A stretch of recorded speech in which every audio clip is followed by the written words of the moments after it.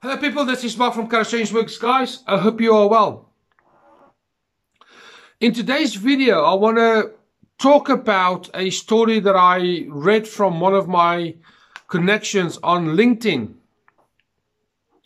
And uh, when I read it, it was had a big impact on me purely because of my past experiences, particularly with the knock in my life but also with regards to a few other people that I know and my observations of how they operate in the world in terms of their interactions with other people. And the story goes like this. Now, whether it be true or not, it doesn't matter, but the, the, the message is really, really powerful. And I want us to get the message today. And I hope that when you hear the message, that it will cause you to do a little bit of inward searching, some soul searching, and seeing if you do the same and change accordingly. So the story is like this. The husband and wife were sitting eating breakfast. And the next door neighbor hung her washing on the washing line. The wife turns round and says to the husband, Look at our neighbor hanging dirty washing on the line. What a disgrace. And the husband decided to remain silent. A few days later, the same thing happens. The neighbor hangs her washing on the washing line and the wife comes to the to the husband and says, She's a disgrace to society. Look at it. Hanging dirty washing on the washing line. Why doesn't she just consider buying some different washing powder? Or maybe a new washing machine? Come on, man. This is this is not good. And the husband decides to say nothing. Again, a few days later after that, same thing happens. They're having breakfast, and the neighbor again hangs washing on the washing line.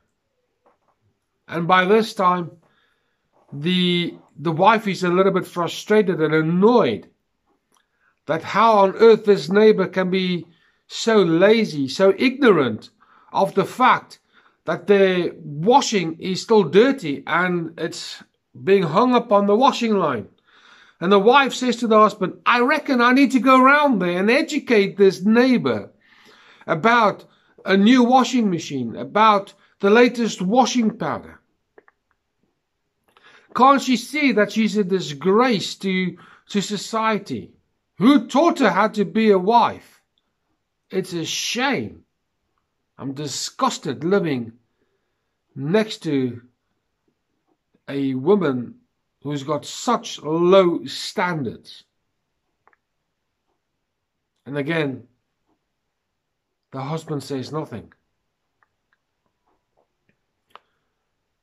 A few days later, the same thing happens. The husband, the, the neighbor hangs washing on the washing line. And the wife says, finally, she's done something different. It's about time. I couldn't see anything being delivered, so she must have changed the washing powder because I didn't see the washing machine being delivered. It's about time that she actually does something that's proper man. And at this point, the husband turns around and says, Actually, I got up early this morning and I cleaned our windows. Moral of the story, according to my connection on LinkedIn, is this. And this is what I want us to get is this. We cannot look through the windows of our lives with criticism, negativity, hatred, anger, because it blinds us to the truth of what's actually there. In order to see things clearly, we need to clean these windows in order to avoid judgments that are unnecessary, but more importantly, not true.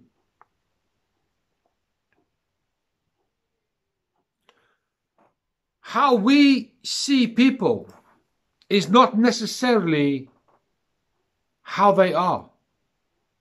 It is a closer reflection of how we are. We project ourselves, our core self,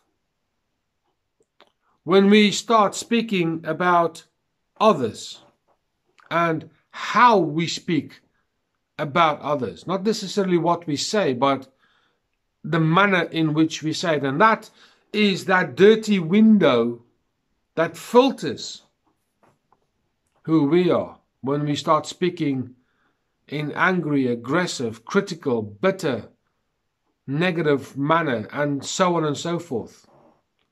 Likewise, when we start speaking in positive terms, it too reflects who we are, not necessarily the object of our discussion, that other person. So, what I want to say to us today is simply this pay attention to what and how we speak about ourselves and how we speak about other people, because that is who we are. And if your window is dirty, my, my suggestion, my encouragement to you today is simply this Go change the way you clean your windows. Because maybe you need to buy some different detergent to clean the windows with. It is a sad thing when we speak to other people in such negative and critical ways. And then we wonder why we don't have friends. We wonder why we're not liked. We wonder why we feel lonely. It is simple. It is because our windows are very dirty. And unfortunately, it does not reflect accurately how we see others, but it reflects incredibly accurate who we are as people. That's all I want to say. So for my connection on LinkedIn, Martin. It, this is a powerful story.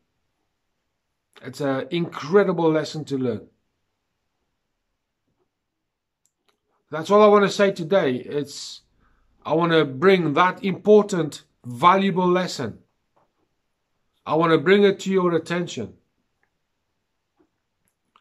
Because ultimately, People see us who we are through the way that we speak about them. We need to change and be more positive and hopeful, constructive. Get rid of all the dirty windows that we project ourselves through. Clean them.